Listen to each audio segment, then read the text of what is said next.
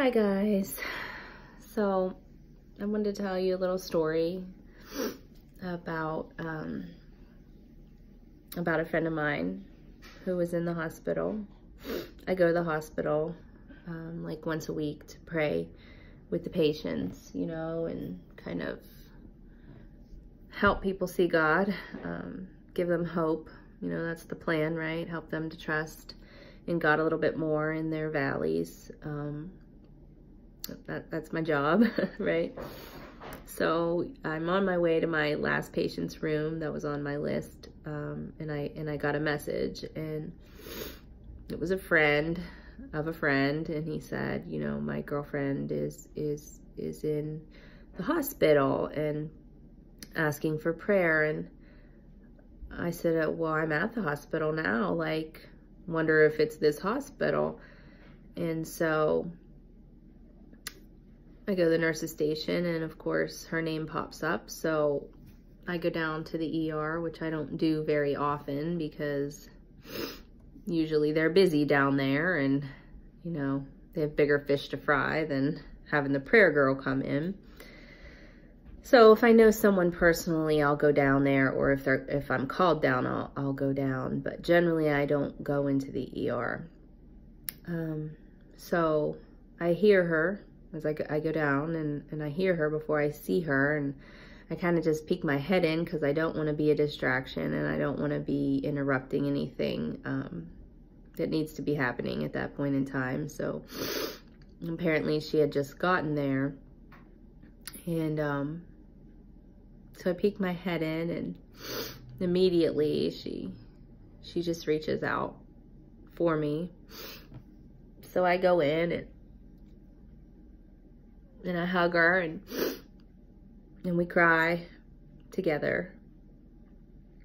And um it's like time stops, you know, for a minute in those kind of moments and I feel it like I, I feel her pain and I I don't know all of it, but but I know enough to feel it. And, um, and so, you know, the intake nurses wait, social workers wait, everyone waits for a minute, a um, couple minutes actually. And, um, you know, she just, she just cries and at that moment, I'm sure that this is why I exist. Like, this is why I'm here. Um, my presence there matters, matters a lot.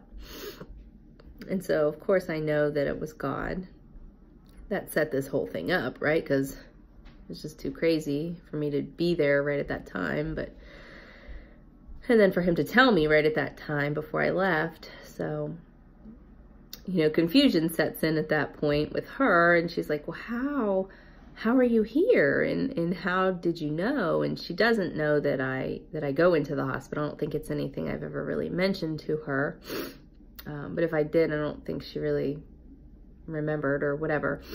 And so she reads my badge at this point and, um, and she says, pastoral care. And she's like, oh, well, that makes sense, right? Because she knows me and she's been to the hospital. I'm sorry, she's been to, to church with me a couple times. So she knows, you know, she knows about it. So, um, so I just say, well, God knew. God sees you and, and God sent me here. And that's exactly the truth. Um, that's the only way I would even be able to explain my presence there at that moment. So, so then it's my turn to wait and I wait for intakes. You know, I wait while she tells her whole story and I already know it, but the audible retelling of it just, it's more than any person should have to bear. I mean, even hearing it out loud, uh, let alone living through it um, without breaking down is just very difficult. So finally, all that's over and we we pray and I hold her and I remind her who she is and remind her who she is in Christ, remind her that she's not alone and you know, make sure she knows I'm here. You know, I'm here for a reason and God sent me and I'm always here. And He loves you. And I repeat it, you know, I try to help her see that, you know, get it, remember it. And then we, you know, we cry some more and she she collects herself and she um she she excuses herself for a second. She says, "I I just need to call my friend really fast, let him know that, you know, I'm here and I'm okay and whatever. And so she calls her friend and and she says, guess who showed up? And of course she says, my name. And then she says, she's such a fucking blessing.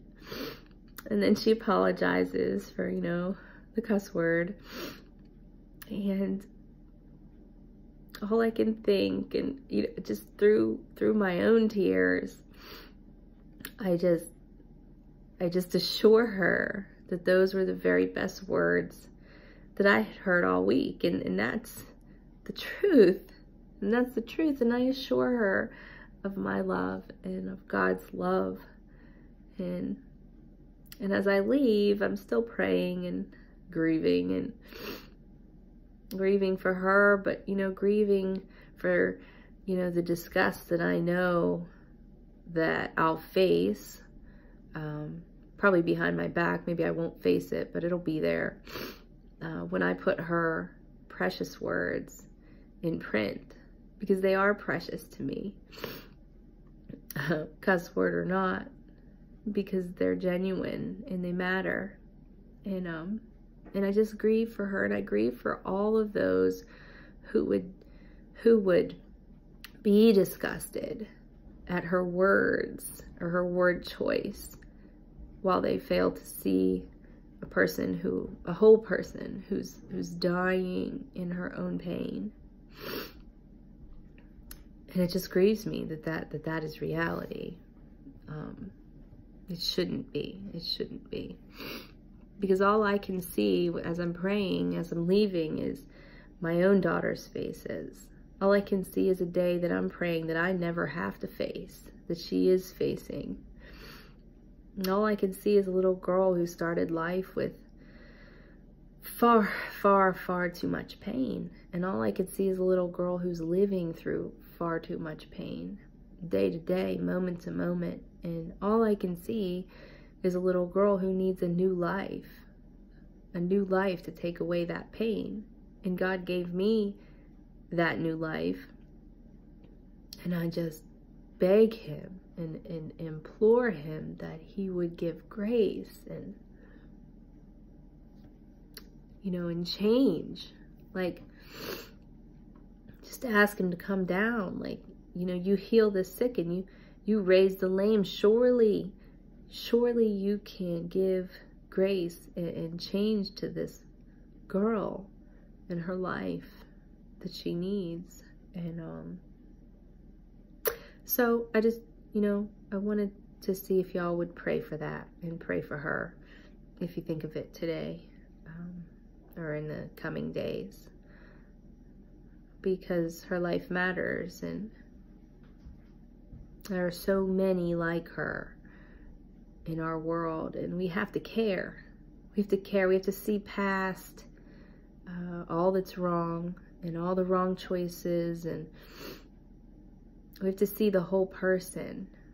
And when you really listen to someone and you really hear what they've had to face in their life from, from being a little, little child, then you start to understand a little bit better why people turn to things like drugs and alcohol and can't seem to overcome them because no matter how hard they try, those circumstances don't go away. They just escalate and they compound and trauma compounds. And we have to care. We have to show them that there is a different life, a new life, and that Christ can take that pain and he can heal that pain. We can't avoid them and exclude them on the basis of their wrong choices. It's just, that's not grace and that's not what God does. So yeah, pray for her if you would. And um, thank you. Thanks for listening.